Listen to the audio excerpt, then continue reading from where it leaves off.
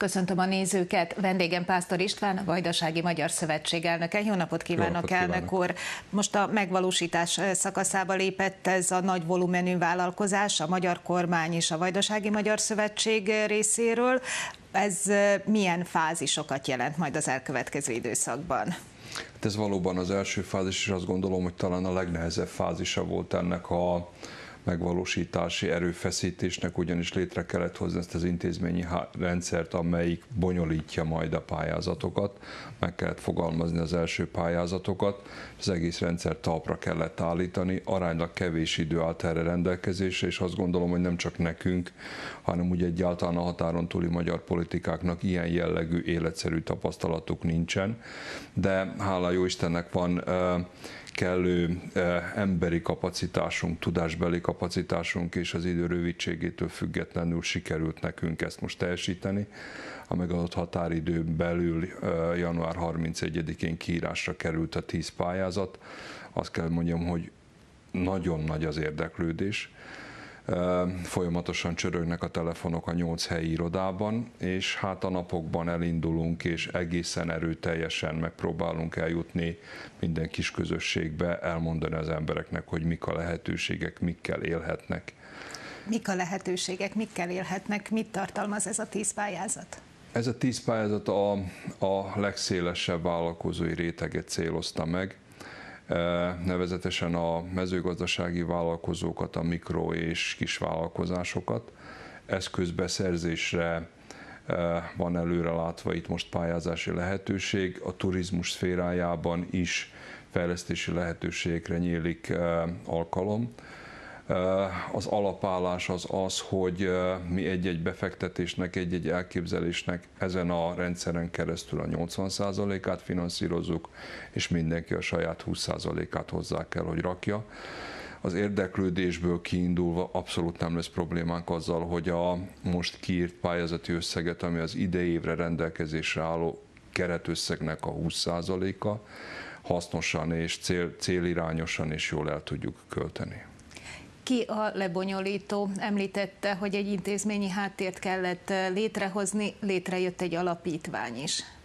Valóban arra törekedtünk és arra törekszünk folyamatosan, hogy a jogszabályi kereteken belül bonyolítsuk az egész folyamatot. Ennek értelmében létre kellett hozni ezt az alapítványt, ez a Prosperitáti Alapítvány, amelyiknek a székhelye itt van Szabadkán, és ebben a pillanatban 8 helyi irodája van különböző jelentős vajdasági magyar városokban. Itt tudják ellátni az érdeklődőket plusz információkkal. A pályázati űrlapokat úgy raktuk össze, hogy mindenki saját maga ki tudja tölteni a pályázati űrlapot, nincsen szükség semmiféle külső segítségre, nincsen szükség arra, hogy bármilyen ügynökséghez forduljon bárki, akinek életszerű, életre való gazdasági elképzelése van, egészen biztos, hogy ki tudja tölteni az űrlapokat. A pályázat az március 31-ig van nyitva, és azt gondolom, hogy azt követően egy hónap alatt az első elbírálások meg is történnek. Most az első körben falusi házak vásárlására is lehet pályázni. Ez házas párokhoz szól, vagy bejegyzett élettársi kapcsolatban élőköz, céljuk pedig? A céljuk pedig az, hogy egyrésztről födelet teremtsünk azok feje fölé, akik nem tudnak önerőből erre lehetőséget biztosítani, másrésztről pedig, hogy visszavigyük az embereket, segítsünk nekik abban, hogy visszakerüljenek a falura, és ott kezdjenek el gazdálkodni.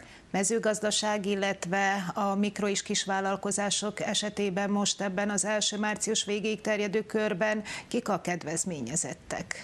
Hát a kedvezményezettek azok, akik eh, magyar állampolgársággal rendelkeznek, és állandó vajdasági lakhelyük van.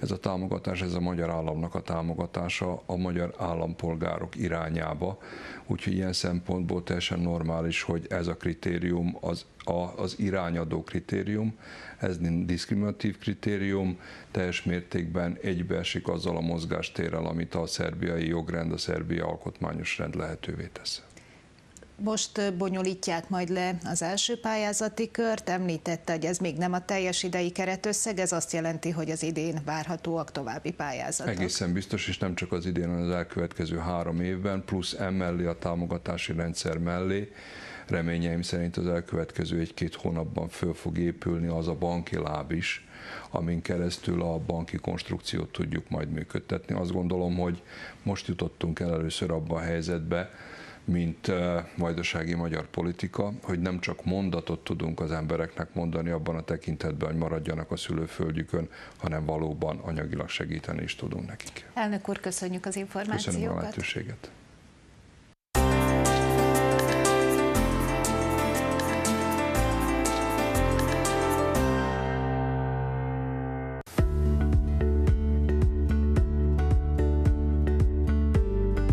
Mikro vagy kisvállalkozása van, ha egyéni bejegyzett mezőgazdasági termelő, ha fiatal és itthon akar boldogulni úgy, hogy falusi házat venne és gazdálkodna, akkor pályázzon a Prosperitáti Alapítványnál. Kattintson oldalunkra, keresse fel területi irodáinkat Magyar Kanizsán, Nagybecskereken, Úbecsin, Szabadkán, Temerinben, Topolyán, Zentán és Zomborban. A pályázatokat március 1 -e és 31-e között lehet átadni. Érdeklődjön, pályázzon! Éljen a lehetőséggel, boldoguljon itthon. www.prosperitáti.rs az ön lehetősége. A vajdasági magyar közösség boldogulása.